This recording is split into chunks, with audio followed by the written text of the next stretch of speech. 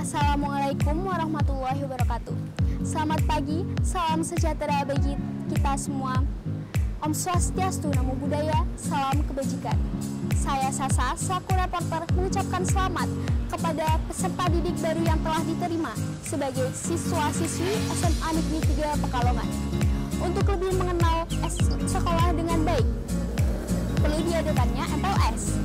MPLS dijadikan sebagai ajang untuk melatih ketahanan mental, kedisiplinan, dan mempererat tali persaudaraan. Di masa pandemi COVID-19, kita tidak dapat melaksanakan MPLS secara langsung. Oleh karena itu, kita tetap dapat melaksanakan MPLS secara daring.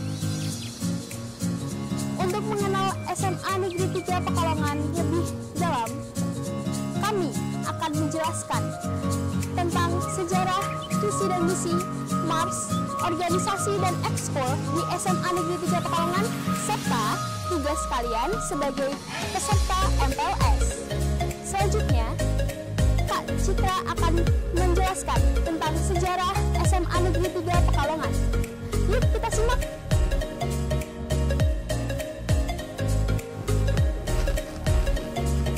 Halo, saya Citra. Di sini saya akan menjelaskan tentang sejarah singkat SMA Negeri 3 Pekalongan.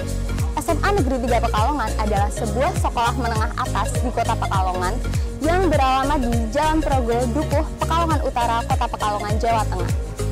Berdiri pada tanggal 5 Juni 1989 dengan nama SMA Negeri Pekalongan sebagai alih fungsi dari SPG Negeri Pekalongan pada saat itu. Mulai tahun pelajaran 1989-1990, SMA Negeri Pekalongan ini diizinkan menerima siswa baru, yang pada saat itu hanya ada empat ruang kelas. Pada tahun 1991, nama sekolah diubah menjadi SMA Negeri 3 Pekalongan.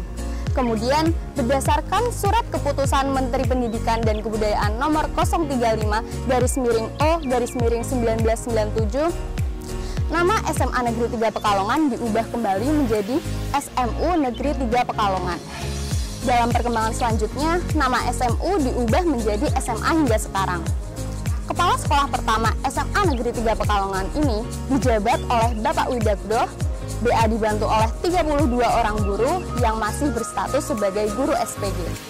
Tahun pelajaran 2011-2012, SMA Negeri 3 Pekalongan ini berumur 23 tahun dalam berjalannya waktu, SMA Negeri 3 Pekalongan semakin berkembang dan berprestasi dalam bidang akademis maupun non-akademis. Salah satu di antaranya yaitu SMA Negeri 3 Pekalongan menduduki peringkat 7 tingkat Provinsi Jawa Tengah dalam perolehan nilai ujian nasional pada tahun 2010-2011. Sekian penjelasan dari saya, terima kasih. Di sini saya akan menyampaikan visi dan misi SMA Negeri 3 Kota Pekalongan.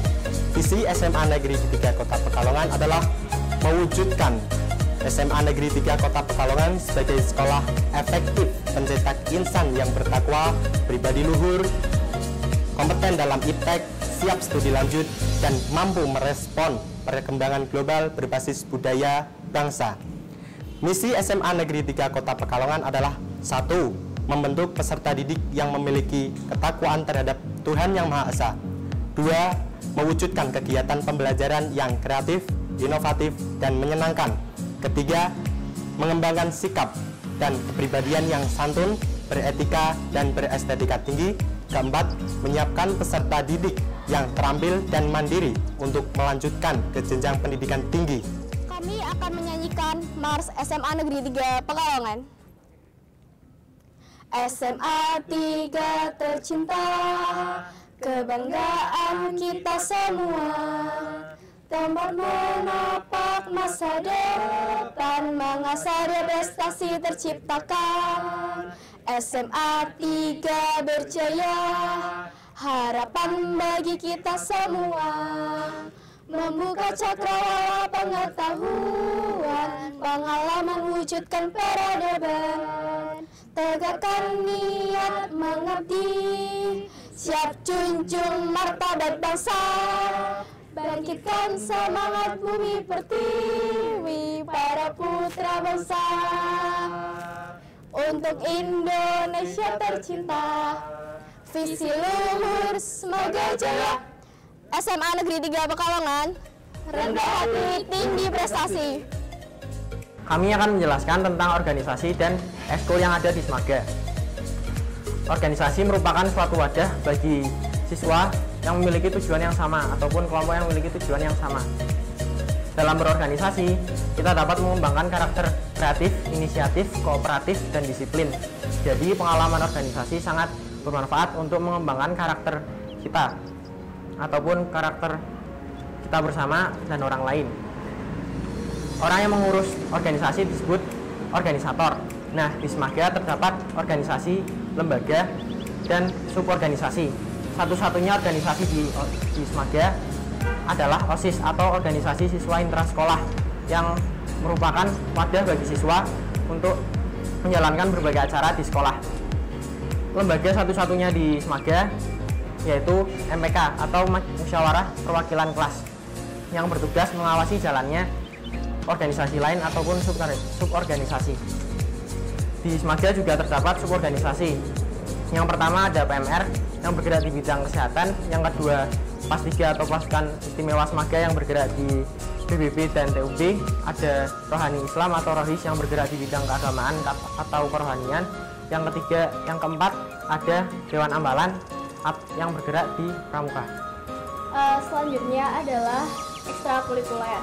Di SMA Negeri 3 Pekalongan memiliki 11 ekstrakurikuler, yaitu silat, basket, voli, futsal, karawitan, tari, rebana, dan empat ekskul identitas. Yang pertama yaitu GAS. GAS atau Ganesha Art Solidarity merupakan ekskul seni rupa dan menghasilkan beberapa karya seperti lukisan dan kerajinan. Oktober 2019 lalu, Gas memenangkan juara satu sebagai kostum terbaik. Yang kedua adalah English Club. English Club merupakan klub bahasa Inggris. Tetapi English Club tidak hanya untuk anak-anak yang bisa berbahasa Inggris, tetapi untuk anak-anak yang ingin bisa bahasa Inggris tentu bisa join. Di EC ada dua kelas, yaitu regular yang mempelajari tentang grammar dan debate. Selain materi, EC juga diselingi game di dalam setiap kegiatannya. Selanjutnya adalah GGS atau Generasi Garuda Semaga. GGS bertujuan untuk meningkatkan nasionalisme dan cinta tanah air.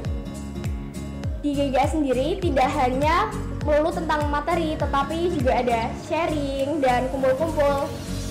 Lalu yang terakhir adalah SC atau Semaga Kreator. Kata anak SMA 3 sih, SC itu ekskul perfilman padahal di SC itu multi talent bikin puisi bisa monolog bisa drama juga bisa. Nah se seperti yang sudah saya katakan ekskul itu bermanfaat dan juga bisa mendapatkan peluang untuk mengikuti kompetisi. Sekian penjelasan dari saya. Ayo ikut ekskul. Selama masa pengenalan lingkungan sekolah peserta MPLS 2020 harus membuat tugas-tugas yang telah ditentukan, yaitu membuat ribbon dan tag. Ribbon merupakan foto non-formal yang disertai bingkai embalas 2020 yang bertujuan untuk mendukung acara embalas 2020 yang nantinya akan diunggah melalui akun Instagram peserta embalas 2020. Nah, tugas yang kedua itu membuat name tag Nemtek bertujuan untuk tanda pengenal si peserta MPLS 2020 yang berisikan identitas yaitu nama lengkap, cita-cita dan universitas yang diimpikan. Nah, hurufnya itu tebal dan kapital. Untuk bentuknya itu seperti ini.